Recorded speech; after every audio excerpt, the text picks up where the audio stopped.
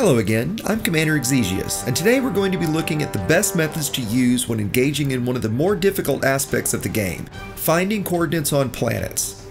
While many locations have been added to our navigation panel, making this far easier, there are still times when we'll need to navigate to a set of specific coordinates on a body's surface.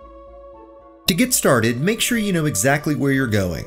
What I mean is ensure that you have the proper coordinates in terms of negative and positive numbers.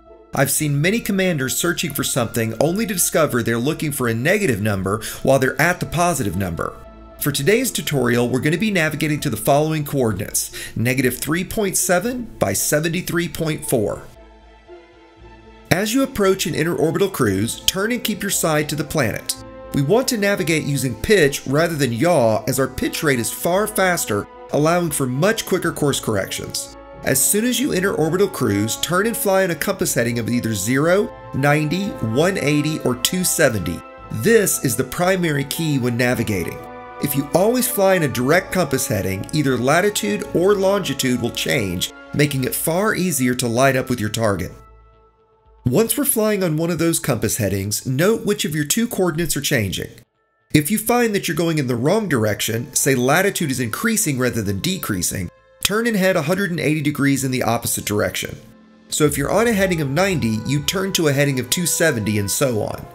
As you approach your first number, begin your turn to the second. While you're approaching, if you make smaller changes, you'll see which way you need to head for your next number. Now that you've gotten near the first, you can turn 90 degrees to fly on the next direct compass heading. If you see the first number you found change, you can alter your heading slightly by either 5 to 10 degrees or so to stay as lined up as possible. Now the tricky part.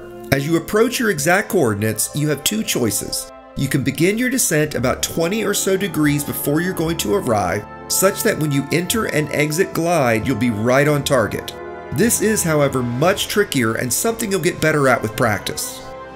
The easier method is to simply turn and face directly at the planet when above your coordinates. Then, when you hit the drop point, rather than entering glide, you'll drop around 45 kilometers or so above your destination. While less than ideal, it really doesn't take that long to fly straight down, boosting the entire time. You can also go flight assist off and just let gravity do the work without the need to boost. While this might take 30 to 60 seconds, it can be far faster than overshooting your target and needing to get back into orbital cruise or to have to cover 40 kilometers of level flight. While planetary navigation isn't much fun, and it's absurd that we still don't have the ability to place markers on planets like our 21st century navigation systems allow, once you get the hang of it, you'll find your destination in no time. Oh, and a quick pro tip.